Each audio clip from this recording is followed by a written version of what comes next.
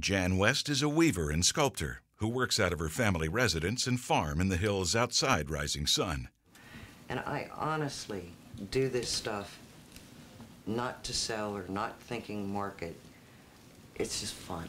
Jan's passion for nature and wildlife is evident in the whimsically powerful figures she produces, as well as the unique gardens on her property.